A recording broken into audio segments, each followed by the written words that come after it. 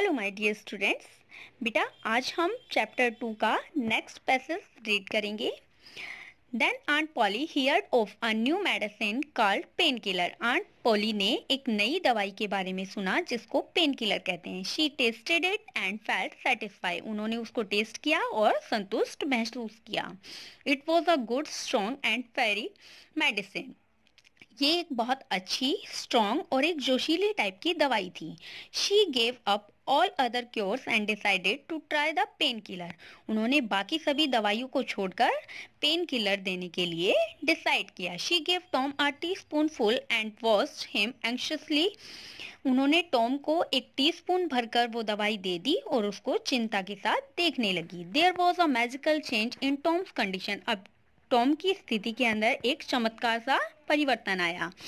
A fire seems to have been lit inside him उसके अंदर एक आग सी जलने लगी। He did not seems gloomy और लिस्टलेस एनी मोर अब वो बिल्कुल भी सुस्त महसूस नहीं लग रहा था। अब वो चुस्ती पूर्वक अपना जो उत्साह था, वो दिखा रहा था। Now aunt Polly was not worried about Tom अब आंट पोली जो थी, वो टॉम के बारे में चिंतित नहीं थी।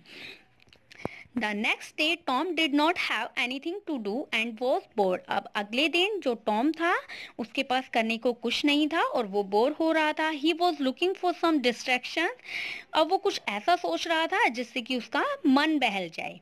He wondered what he could do अब वह सोच रहा था कि वह ऐसा क्या करे। Finally he hit upon a plan of pretending to be fond of painkiller अब उसने एक ऐसा प्लान बनाया जिससे कि वो पेन किलर के शौकीन होने का बहाना बनाए। He would not stop asking for it and it became quite a nuisance अब वो उसके बारे में बातें करना बंद ही नहीं कर रहा था और ये उनके लिए आंट के लिए एक उपद्रव सा बन गया था। Finally aunt Polly told him to help himself from the bottle and not bother her उन्होंने अब आंट पोली ने उसको कहा कि वह उसको परेशान ना करे और वो खुद ही जाकर बॉटल से उसको ले ले। If it had been Tom's brother said, she would not have been worried. यदि उसकी जगह उसका भाई सेड होता तो आंट पोली इतनी चिंतित नहीं होती. But as it was Tom she was a little suspicious लेकिन ये टॉम था इसलिए आंट जो थी वो थोड़ी उसके लिए चिंतित थी. So she watched the bottle carefully इसलिए वो बॉटल को ध्यान से देख रही थी. She found that the liquid in the bottle was disappearing slowly उन्होंने देखा कि जो बॉटल थी उसमें से लिक्विड धीरे धीरे खत्म हो रहा था। सो शी रिलैक्स इसलिए वो आराम से बैठी थी। आराम से मतलब उसको टेंशन नहीं ले रही थी। She had no idea that the boy was mending a crack in the floor with it उनको इस बात का बिल्कुल भी अंदाज़ा नहीं था कि वो जो शरारती लड़का था, वो दीवार के अंदर, फर्श के अंदर एक क्रैक बना रहा है, एक दरार बना रहा है इसके साथ। One day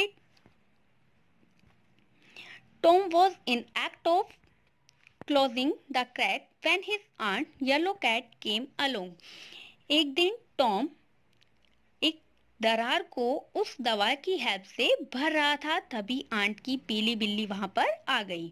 ही पट वो थोड़ी घुर्राई। Eyed the medicine greedily as if asking for it उन्होंने उसने, बिल्ली ने उस दवाई के ऊपर ऐसे आँखें गड़ा रखी थी जैसे कि वो उसकी डिमांड कर रही हो। Tom said warningly do not ask for it unless you want it Peter Tom ने उसको वार्निंग देते हुए कहा कि, पीटर, तुम्हें इसके बारे में तब तक नहीं पूछना है जब तक तुम्हें इसकी ज़रूरत ना हो। Peter signified that he did want it Peter ने ऐसे इंडिकेट किया जैसे कि उसे ये चाहिए। So Tom hesitated no longer इसलिए टॉम को अब बिल्कुल भी हिचकिचाहट नहीं हुई। He force Peter's mouth open and pour a generous amount of painkiller down his throat अब पीटर ने क्या किया? उसको एक मौका मिल गया। उसने उसका मुँह पकड़ा और उसके अंदर पेन किलर की एक ज़्यादा मात्रा डाल दी। The effect was instant and electric अब जो प्रभाव था वो तुरंत हो गया और बहुत ज़्यादा मतलब इलेक्ट्रिक टाइप से था। जैसे कि बिजली ऑन करते ही तुरंत उसके अंदर करंट आ जाता है तो इसी तरह से उस दवाई ने इफ़ेक्ट किया। Peter sprang a couple of yard in the air utter a war whoop and set off round and round the room अब जो पीटर था, जो बिल्ली थी, उसके अंदर एक नई लहर सी आ गई थी और वो कमरे के अंदर उसने उछल कूद मचाना शुरू कर दिया। In the process he banged against furniture upset flower pots and created general havoc अब जो पीटर था जो बिल्ली थी, वो अपनी जो उथल पुथल कर रही थी तो उसमें वह कभी फर्नीचर से टकरा रही थी तो कभी फ्लावर पॉट से टकरा कर उसको तोड़ दिया। उसने एक छोटा सा तूफ़ान खड़ा कर दिया था। Next Peter rose on his hind paws and pranced around in a frenzy of enjoyment अब जो पीटर बिल्ली थी, उसने अपने पीछे के पाँव को, पंजों को उठाया और एक खुशी की लहर से झूम उठी। Then with his head over his shoulder he gave voice to his complete happiness उसके बाद उसने अपने शोल्डर से ऊपर अपने सर को उठाते हुए एक बहुत ज़ोरदार खुशी की आवाज़ निकाली, जैसे कि उसको बहुत आनंद आ रहा हो।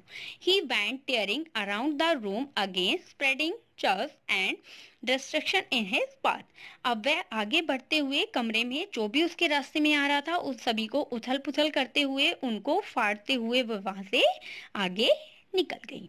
बेटा, बाकी कहाँ? नेक्स्ट वीडियो में या फिर अपनी ऑनलाइन क्लास में रीड करेंगे। तब तक के लिए आप चैप्टर रीड कीजिए। Okay students bye bye